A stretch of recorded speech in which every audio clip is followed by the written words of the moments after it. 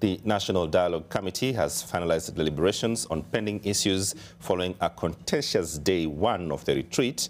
Today's discussions focused on governance, promotion of national unity, exclusivity in public appointments, checks and balances on bicameral parliament, among others.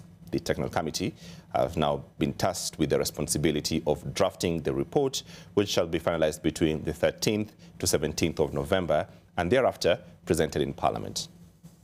And we have now tasked our technical teams to begin drafting the instruments or bills that will actualize the areas of convergence that we have agreed on. We shall be reconvening next week on Tuesday 31st and Wednesday 1st at the Bomas of Kenya to meet with designated interested parties on the question of the cost of living then be considering all the issues in terms of uh, the draft report uh, that uh, the committee has been working on together with our secretary and technical teams in the week of 13th to 17th of November. That, uh, that week we shall finalize on the report.